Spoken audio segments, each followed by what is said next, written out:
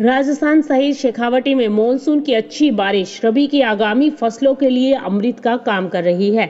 बरसों बाद भूमि की नमी बढ़ने से ज़िले में इस बार बरानी खेती में अंकुरन फटेगा। सब कुछ ठीक रहा तो मौसम ने साथ दिया तो राजस्थान के सीकर ज़िले में खेती का रकबा बढ़ने से इस बार सरसों, चना की फ़सल किसानों की जेबों में करोड़ों रुपए डालेगी।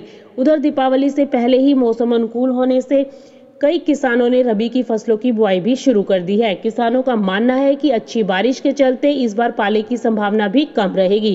कृषि वैज्ञानिकों की माने तो इस बार नमी ज़्यादा होने के कारण रोग कीट का प्रकोप भी अन्य सालों की तुलना में कम रहेगा। अकेले सीकर ज़िले में करीब एक लाख हेक्टेयर में बरानी खेती का अनुमान लगाया जा रहा है। बुआई का क्षेत्र बढ़ने से सरसों चना के उत्पादन में करीब पंद्रह फ़ीसद बढ़ोतरी के आसार हैं। सीकर ज़िले में गेहूँ पिचासी हज़ार, जोत बत्तीस हज़ार, चना साठ और सरसों चौसठ। वहीं तारामीरा बीस हज़ार व चारा व सब्जियों के करीब बत्तीस हज़ार हेक्टेयर में बुआई की जाएगी। कृषि वैज्ञानिकों का मानना है कि प्रदेश में इस बार औसत से ज़्यादा बारिश होने के कारण रबी की फ़सलों को फ़ायदा होगा।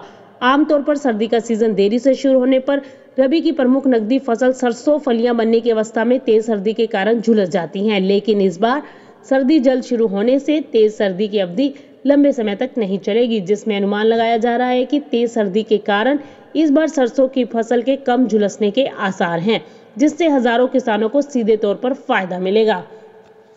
वहीं सीकर ज़िले की बात करें तो वहाँ पर सरसों का उत्पादन 15 फ़ीसद ज़्यादा होने का अनुमान लगाया गया है। किसानों की माने तो पिछले साल की तुलना में इस बार 25 करोड़ रुपए का उत्पादन बढ़ने की संभावना है। कृषि विभाग भी ज़िले में इस बार फ़सलों का अनुमानित उत्पादन करीब पाँच लाख चौतीस हज़ार सात सौ एक मीट्रिक टन का आकलन कर रहा है, जो पिछले वास्तविक उत्पादन से करीब सत्तर हज़ार मीट्रिक टन ज़्यादा होने के आसार हैं। किसानों की माने तो सीज़न बारिश का आंकड़ा ज़्यादा रहता है, उस दौरान पाला बढ़ने की संभावना कम रही है। अच्छी बारिश सर्दी में भी साथ देती है, जब सूखा रहता है तो पाला पड़ता है। और वह अघेती फ़सलों को भी नष्ट कर देता है। इस बार बारिश का अंतिम दौर अच्छा रहा, जो किसानों को बम्पर उत्पादन करके देगा। बड़ी बात यह भी है कि पलाव करने में इस बार चार की जगह तीन घंटे ही लगेंगे, क्योंकि ज़मीन में नमी के चलते चार घंटे का काम तीन घंटे में हो जाएगा। वहीं राजस्थान में अच्छी बारिश से खेतों में भी नमी बढ़ने के चलते इस बार रबी सीज़न में बिजली की रिकॉर्ड डिमांड रहने की संभावना भी जताई गई है। यदि ऐसा होता है तो बिजली कंपनियों को किसानों के लिए बिजली का मा, माकूल इंतज़ाम करना होगा। लेकिन फ़िलहाल कोयला संकट से जूझ रही बिजली कंपनियों की चिंता बढ़ गई है। जानकारों की माने तो अगले पंद्रह दिनों में तय हो जाएगा कि रबी के लिए किसानों को कितने ब्लॉक में कितने कितने घंटे बिजली सप्लाई दी जाए। माना तो ये भी जा रहा है कि प्रदेश में नवंबर से फरवरी के बीच रबी सीज़न को देखते हुए बिजली डिमांड एक लाख पैंसठ हज़ार चार सौ मेगावाट तक पहुँच सकती है। वहीं बिजली कंपनियों की माने तो रबी सीज़न के दौरान उत्तर प्रदेश की बिजली वितरण कंपनियों से 1500 मेगावाट बिजली ब्रेकिंग प्रक्रिया के तहत ली जाएगी। नवंबर से अगले साल फरवरी के बीच बिजली लेंगे।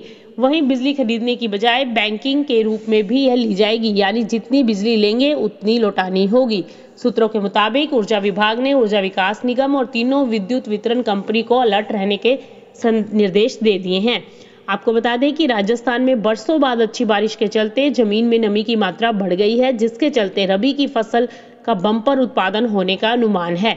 अच्छी बात यह भी है कि बारिश के अंतिम दौर की झमाझम के चलते इस बार पाले की संभावना कम रहेगी। प्रदेश के जिन जलों में प्री मानसून की अच्छी बारिश हुई, वहाँ के किसानों को सबसे ज़्यादा फ़ायदा होगा। Bureau report, Market Times TV.